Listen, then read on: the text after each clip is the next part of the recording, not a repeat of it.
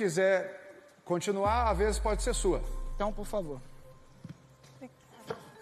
Bom, já que a gente está falando sobre incoerência, é, a gente começou. Vou, vou começar bem do início. Você disse que eu me aproximei de você, quer dizer, que eu me afastei a partir do momento que você não tinha nada para me entregar, ou seja, você não poderia me dar nada. Talvez você não lembre que o momento que eu me aproximei de você, você não tinha nada para me entregar, absolutamente nada. Eu me aproximei de você no dia que você deu uma resposta para o Tadeu no, no, ao vivo, falando o quanto era difícil a gente chegar depois e, o, e você se denominou Blade Blade. Foi naquele dia que, quando acabou ao vivo, eu cheguei aqui fora e falei para você, cara, achei incrível o que você falou. Era exatamente o que eu queria falar, eu não sabia as palavras certas, fiquei com medo de me colocar como vítima e eu achei que você foi certeira na sua, na sua colocação. E ali a gente começou a trocar ideia, aos poucos começamos a falar de jogo, começamos a nos aproximar naquele momento. Você não tinha nada para me oferecer, zero para me oferecer.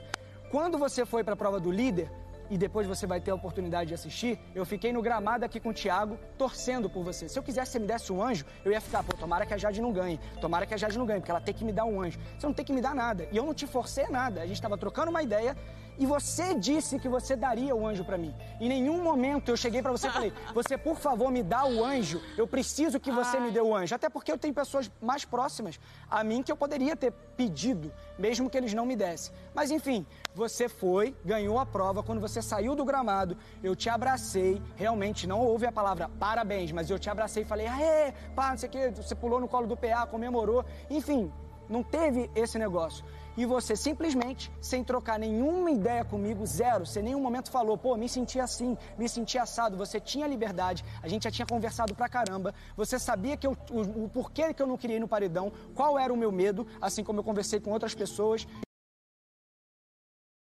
isso ou aquilo, você tinha mudado de opinião. Não precisa você, não, tudo bem. Se você não tiver, se você não tiver nenhum tipo de relação com a pessoa, ok. Mas você sabe, a gente tinha uma relação onde a gente trocava sobre o jogo, onde a gente conversava e onde você sabia quais eram os, os meus medos. Inclusive, quando você saiu da prova, que eu virei para você e falei, cara, ferrou, essa semana eu vou pela casa. Você virou para mim e falou assim, fica tranquilo, que pelo menos pela líder você não vai. E aí chega no ao vivo e você me coloca no paredão sem nem ter trocado uma ideia comigo.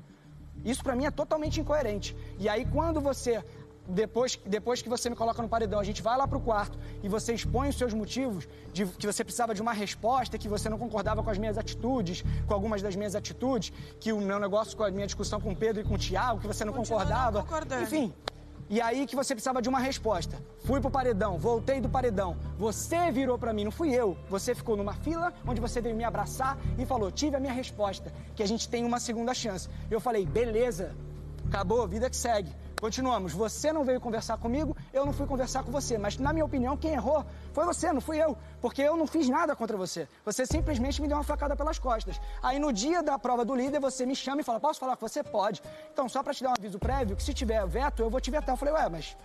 A gente não tinha falado sobre uma segunda chance? É, mas é que eu não sei se você for líder, se você vai me colocar. Falei, bom, isso aí é uma decisão sua. Eu não vou, inter... não vou interferir. Se você quer fazer isso, Licença, isso vai afastar. Arthur.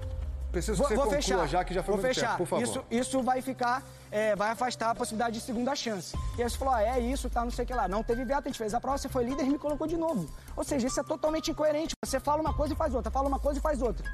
É isso. Ok, Jade. Ai, Tadeu, acho que já deu essa